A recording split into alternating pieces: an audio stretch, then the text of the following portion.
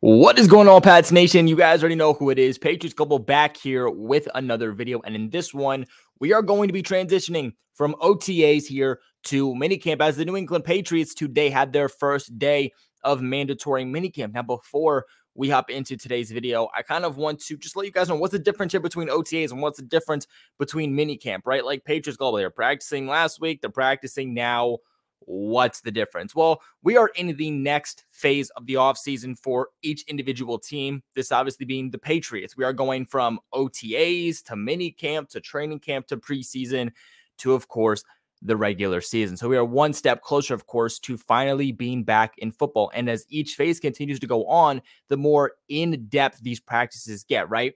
OTAs, it's not mandatory. There's no contact. Move on to mini camp yeah, there's still no contact, but now it's mandatory for everybody to be there, including veterans.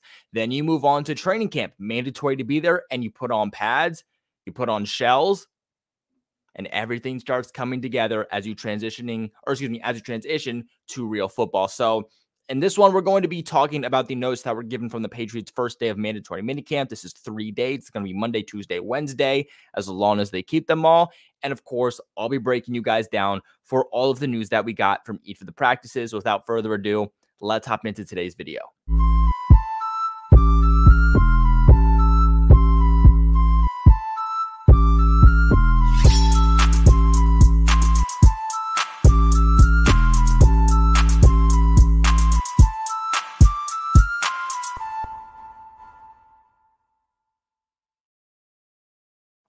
All right, guys, here. So let's move on with what we genuinely do. So if you're new to the channel, first off, welcome. Make sure you subscribe to the channel and everybody hit that bell notification so that you do get notified every time I post a video. And while you're at it, might as well hit the like button because it helps the channel out tremendously in more production videos like this to come. And if you're wondering what that was, yeah, Chase is uh, actually in the building today. So he's right here sitting next to me. But usually we start off with just some general notes that are not categor not categorized into each position. After we get into the general notes, we'll start breaking down each position. So as for people that were absent today, James Robinson, no surprise there.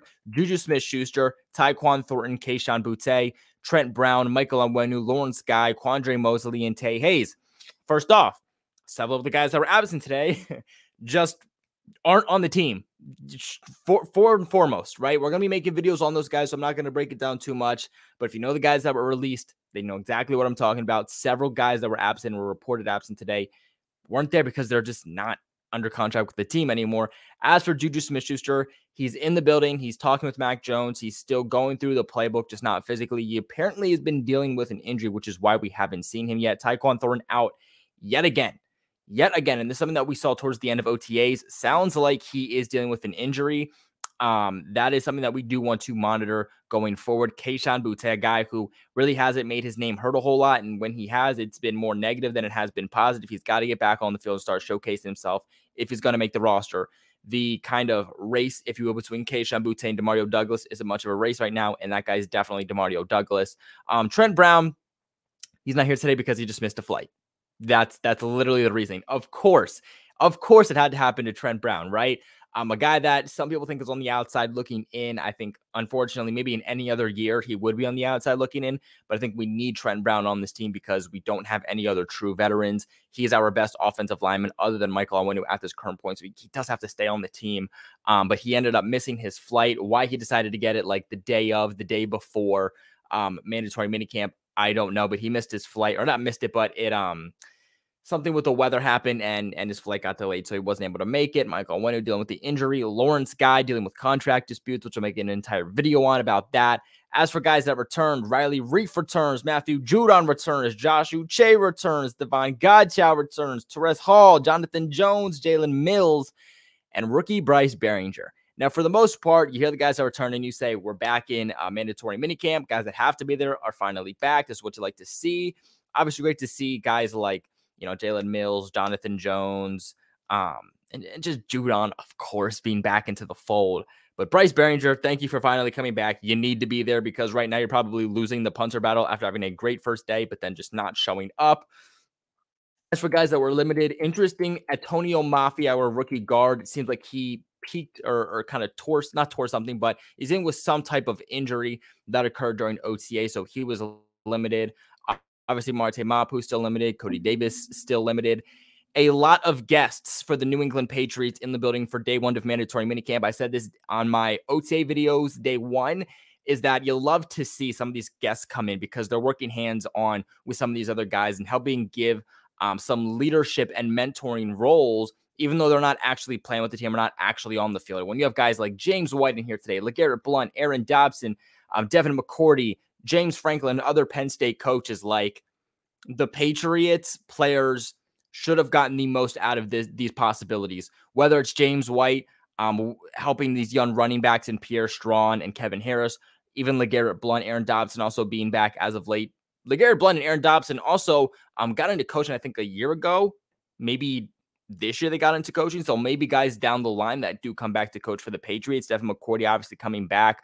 Um, it seems like maybe trying to still have that leadership and mentoring role for these younger guys and these newer guys on the team to help build that new culture despite a lot of these veterans and key players for us over the last couple decades not obviously being here. Now, today there was a lot of work on the short to intermediate passing game. No surprise here. That's probably what the Patriots are going to be operating in the majority of the time offensively this upcoming season. Now, Keion White, our rookie defensive lineman, did get checked out today by trainers during 11 on 11 drills. And afterwards, he just had to watch the rest of practice. He didn't end up going back into practice, but he did stay on the field and just watch. But he did watch with his helmet off Later on, he did he did speak with media, so that usually is a good sign that he will be okay overall. Moving on to each position here, quarterbacks. Mac Jones went, uh, excuse me, for 11 on 11s. Mac Jones went 10 for 12. Bailey Zappe went 10 for 13, and Trace McSorley went four for five. Seven on sevens. Mac Jones went 21 for 21, a perfect, perfect 21 for 21. While Bailey Zappe went nine for 12, and McSorley went four for seven. Now, Mac Jones today also hit Kendrick Bourne on a deep connection against an all out blitz. It really seems like Mac Jones and Kendrick Bourne are getting back on the same page. That's what you like to see. And this is exactly why, although it seems like, you know, Bill Belichick and some of the Patriots coaches aren't very fond of Kendrick Bourne, we, the fans, and the quarterback himself has a great connection with Kendrick Bourne, which is exactly why you have to get him implemented and if you're able to get him implemented this year, exactly why he's a guy that should be sticking around long term, at least probably as good as gone, unfortunately, after this year. Now, Mac Jones did, although the stats did look good, he did throw two interceptions during two minute drills. He was what was reported as pretty animated during those drills, as it was supposed to be more of a walkthrough pace, but the defense was playing at a high tempo like they always do. No days off is basically the mentality that they're going through.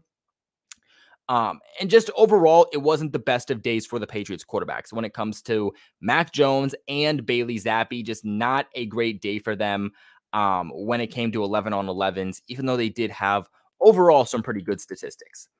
Uh, Bailey Zappe did get a couple more reps today with the regular first team towards the end of practice. Does that mean anything? No, but some of you want to think that there is a quarterback battle. So I'm sure you want to know about that and you'll try to take something away from it just something to take away. Um, no news on the running backs day after James Robinson was released. That's very unfortunate. I would love to see how these younger guys are doing. As for the wide receivers, the outside perimeter wide receivers for the Pats today, keep in mind, multiple guys out was DeVante Parker, Kendrick Bourne, Cunningham, and Raleigh Webb. Those were your outside perimeter wide receivers. That's for the guys that are playing inside at the slot position. It was Tre Nixon, Demario Douglas, our new UDFA Lee, um, and then also Ty Montgomery. He's been working a lot more with the wide receivers for the Patriots more than he has been as a running back. And now I don't think the Patriots are going to switch him to a wide receiver if he makes the overall team, but I think he's going to be that third down back. He's going to be the receiving back for you. He's going to be that next James White, like he was supposed to be last year before getting injured, which is why they're trying to get him as many reps at the wide receiver position as possible. Now, DeVante Parker, he's continuing to look great in practice. Look great for us last year looked great for us in practice this time last year also, and is returning to himself the exact same way he did this time last year because he today made a nice one-handed catch on a go route against Isaiah Bolden. Now Kendrick Bourne also had a touchdown in 11 on 11s. Kendrick Bourne though did have to run a lot today because of a false start and was promptly replaced with the starters um, afterwards for just a brief period of time. Now, Ty Montgomery also was continued to, like I said, be used as um, a wide receiver, but that's not something I would necessarily use as as a takeaway. Like I said before, like he will not go and count against the amount of wide receivers the Patriots put on the final roster. He still will be counted as a running back. And then Tre Nixon hauled in a 50 yard touchdown from Chase McSorley. It looks like Tre Nixon is in off season form right now. This is where every single Patriots fan goes off the rails, thinking that this is the year Tre Nixon pops out for us as a former seventh round pick. And and no, he just always looks good around this time and then never is able to continue it as preseason and training camp comes along.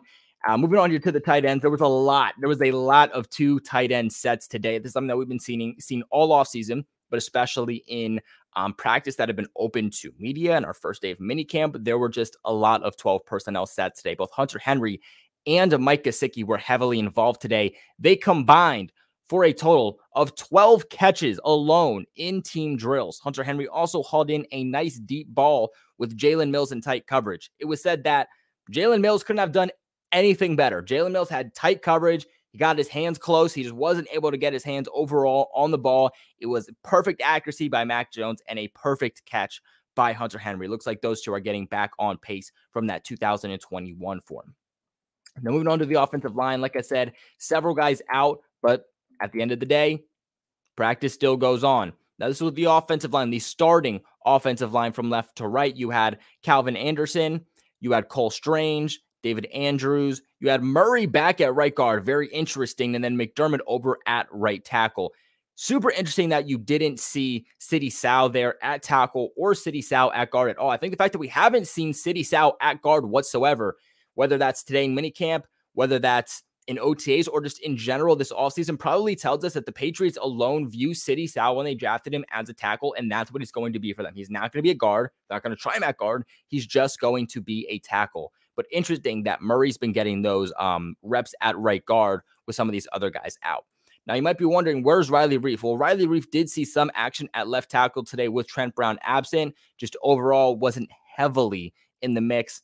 I'd probably guess that that's just you know, trying to ease your veterans back into things, not too much overall to take over for that. Now, before we do continue on today's video, I do want to give a massive, massive shout out to the sponsors of this channel over at FanDuel. Guys, right now, make a fast break to FanDuel during the NBA playoffs because right now, new customers can get a no sweat first bet up to $1,000. That's $1,000 back in bonus bets if your first bet does not hit.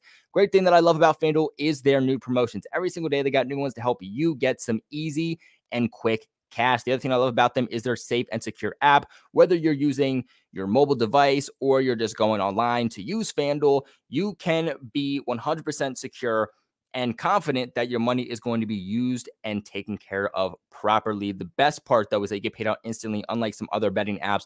With FanDuel, as soon as your bet hits that you placed and you win, you get paid out the second, the second that that bet is officially won. So no sitting there refreshing the page or whatnot. You get your money right away, guys. There's no better place to bet on all of the playoff action than America's number one sports book. Visit fanduel.com slash Boston. Get a no sweat first bet up to $1,000.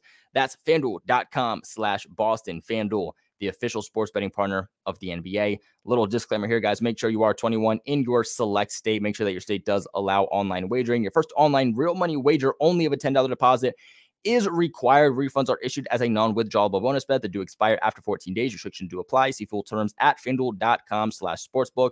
FanDuel is offering online sports wagering in Kansas under an agreement with Kansas Star Casino. If you or somebody knows a gambling problem, call 1-800-GAMBLER or visit fanduel.com slash your state. So it would be one, excuse me. So it would be uh, fanduel.com slash PA if you live in Pennsylvania. It'd be fanduel.com slash NJ if you live in New Jersey and so on so forth. Or visit www.1800gambler.net.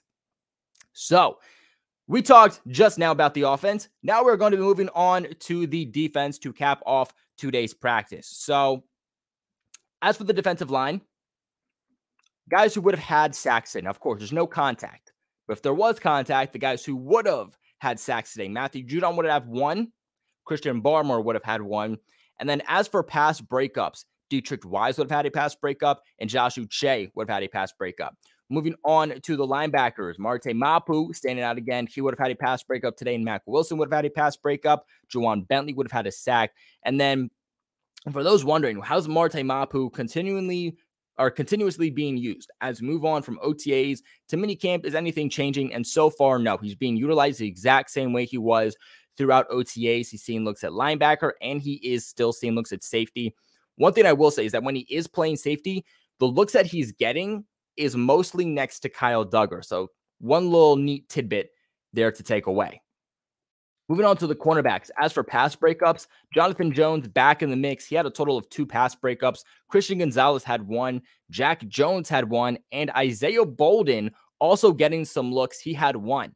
This is something I told you guys in those draft videos was that look out for Isaiah Bolden. This is a guy that as a seventh round pick, I liked and I told you he has more ability on defense, whether that's at cornerback or whether it's at safety to actually try to push for a roster spot a lot more than somebody like Ameer Speed does. You know, when you look at Isaiah Bolden, he brings the size, he brings the speed to be able to match up, and he brings the versatility. And so far, he's actually been getting some some genuine looks here at corner, you know, behind guys like John Jones, Christian Gonzalez, and Jack Jones. He's a guy that's sticking around with that special teams ability. He could be a dark horse uh, roster spot. So Isaiah Bolden, I got to look out for as you know we continue on minicamp and then head into training camp. Now, with Jonathan Jones being back today, where was he playing? Surprisingly, John Jones being back was not thrusted back into um, an outside perimeter cornerback role that we were used to seeing in OTAs. He was actually working a lot in the slot today, and he was working with the uh, starters when working in the slot. So, again, still some question marks on what's the whole cornerback group going to look like from CB1 to CB2 to who is going to be your starting slot cornerback. Now, Christian Gonzalez, say Patriots rookie first round pick, continuing to run with the starters, say looking like the Patriots overall main outside um, number one cornerback on the perimeter. And the reason that you're not hearing Christian Gonzalez's name a lot is because he's not being targeted a lot, right? Like you hear guys like Jonathan Jones with a couple pass breakups or or Jack Jones or Isaiah Bolden, right? Because those guys are being targeted. Christian Gonzalez just isn't getting the ball thrown his way, which at the end of the day, that's not a bad thing. Like with Christian Gonzalez, you not hearing his name as long as he's at practice is more of a good thing than it is a bad thing because if you're a cornerback, if if your mode of a cornerback is just a lockdown, shut down cornerback, shut your man down, which is what Christian Gonzalez is, then you don't want to hear their name. You not hearing their name is a good thing. As where let's say that you're a JC Jackson or an Xavien Howard, you're a ball hawk. Those are the types of guys that you want to hear them their name. You want to hear that they're making plays. So it's actually very good coming out hearing that Christian Gonzalez is rolling with the starters. He's been at practice but you're just not hearing his name because the ball is just not being thrown his way, whether it's Mac Jones, whether it's Bailey Zappe, or Trace McSorley. So I think it's actually some low key good news coming out about the Patriots' uh, rookie first round pick. Now, this one did surprise me. Marcus Jones, a guy that we all thought was going to take over for Jonathan Jones as the Patriots' main slot cornerback saw a lot of action today at cornerback, rolling with the starters, but he was seeing the most action that we've seen so far, not rolling as a slot cornerback, but was mainly working as a perimeter cornerback. Now, keep in mind, Marcus Jones sitting at 5'9, 5'10. He's a guy that you would think would be mainly and pretty much exclusively a slot receiver in the NFL, but is getting opportunities on the outside. Looked good last year, but is this a guy that you want consistently playing on the outside? You know, it, when we play the Eagles week one, is he a guy that you want going up against AJ Brown or, or DeVonta Smith? No, probably not.